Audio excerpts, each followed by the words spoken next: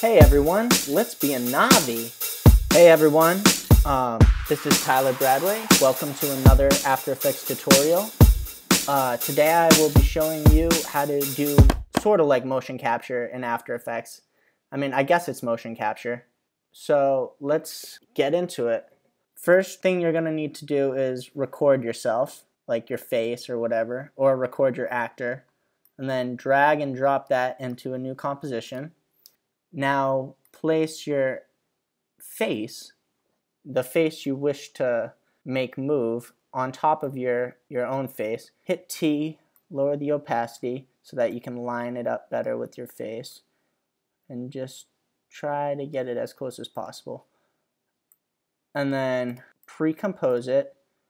Select move all attributes to the new composition because we want this new composition to be the same dimensions as the one we have right now. Let's name this avatar mask.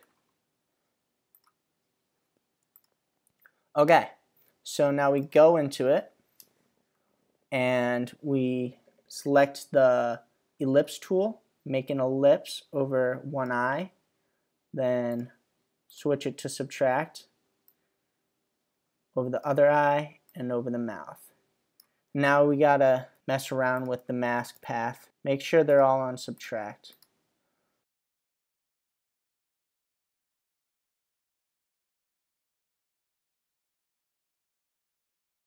Okay, looks good. Um, actually, no, it doesn't. We need to feather it out a little bit. Okay, next what you want to do is shut off the avatar mask layer and take an ellipse. And this is going to seem weird, but just draw an ellipse where your head is. And then switch the mode to none. Now go over here to tracker, select your mask, and select face tracking detailed features. Now track forward. What this does is it like it recognizes your face and makes keyframes for each tracking point.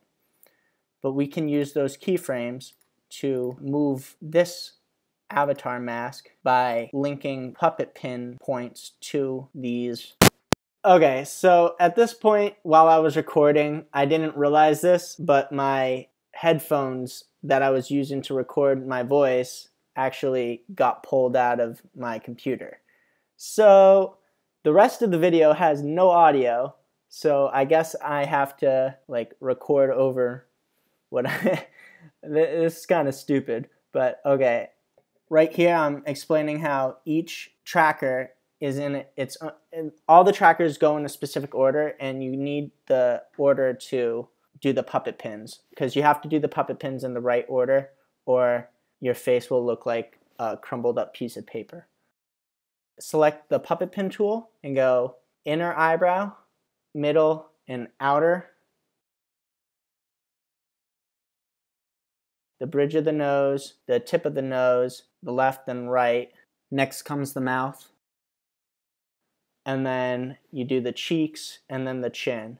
Make sure you're doing it in the same order that I'm doing it, or else it won't work in the end.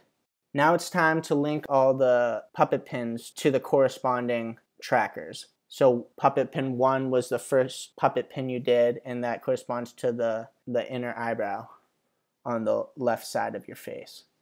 So just keep doing that.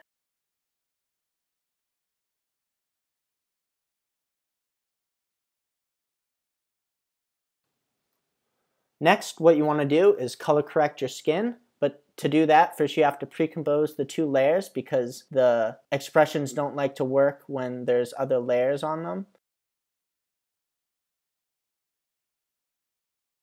Okay, so go into your new composition and isolate the mask layer. Now bring your original footage underneath the mask layer in the original composition search curves and plop the effect onto the, the base layer of yourself.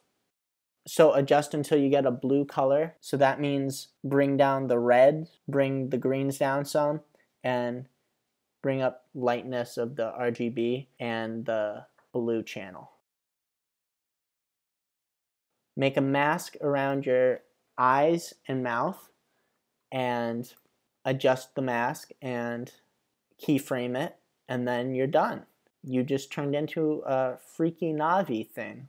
Yay! Hey everyone, let's be a Navi!